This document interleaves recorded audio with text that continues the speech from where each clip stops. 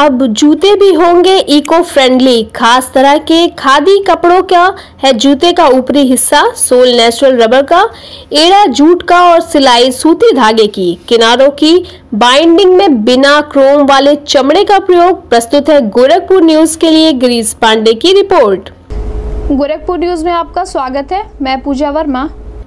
दौर eco friendly का है। जल, जीवन, जंगल और ज़मीन को संरक्षित करते हुए भावी पीढ़ी को खुशनुमा भविष्य देने की फ़िक्र पूरी दुनिया को है।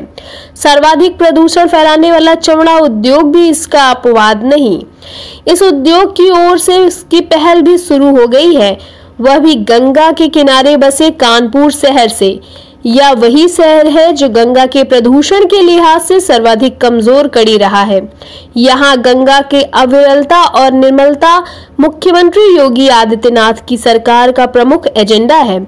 इस संबंध में वहाँ बहुत कुछ हो चुका है और हो रहा है। हाल ही में कानपुर मंडल की समीक्षा के दौरान भी मुख्यमंत्री योगी आदित्यनाथ ने कहा था कि कानपुर में गंगा के किनारे देश का सबसे खूबसूरत रिवर फ्रंट बनाएँगे। चमड़ा उद्योग से होने वाले प्रदूषण के इस दाग को धोने का जिम्मा उठाया है। इसी उद्योग से जुड़े वहाँ के केमिकल इंजीनियर राजेंद्र जलान ने। अब वह इको फ्रेंडली जूते बना रहे हैं। परंपरागत तौर पर बनने वाले जूतों में क्रोम युक्त चमड़ा और सिंथेटिक का प्रयोग होता है। चमड़े में मिक्स क्रोम ही प्रदूषण की मुख्य वजह होती है। इको फ्रेंडली जूते में ऊपर का पूरा हिस्सा खादी के खास तरह के कपड़ों का है। सोल, केरल के कार्क मिक्स रबर का है तो पंजों और एड़ियों को आराम देने वाला सुख तल्ला लेटेक्स फोम का। जूते के पिछले हिस्से को सख्त बनाने के लिए जूट का प्रयोग किया गया है।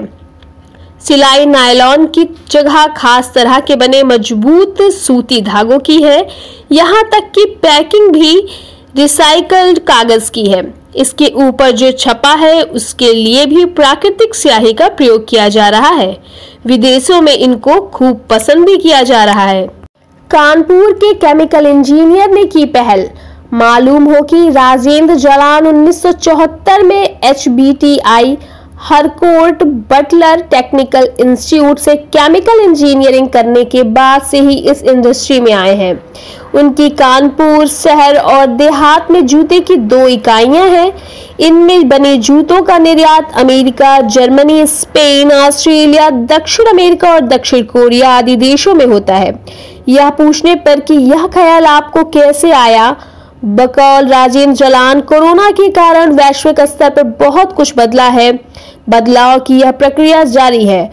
कोरोना का संक्रमण खत्म हो जाने के बाद भी बहुत कुछ बदल जाएगा। लोग स्वस्थ और पर्यावरण के प्रति जागरूक हुए हैं। ऐसे में मुझे लगा कि भविष्य टिकाऊ और इको फ्रेंडली चीज़ों का ही होगा।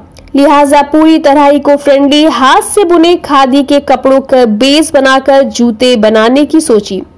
लखनऊ आकर अपर मुख्य सचिव सूक्ष्म, लघु, मध्यम उद्योग और खादी एवं ग्राम उद्योग नवनीत सहगल से संपर्क किया तो उन्होंने न केवल मुझे प्रोत्साहित किया, बल्कि हर संभव मदद का भरोसा भी दिया।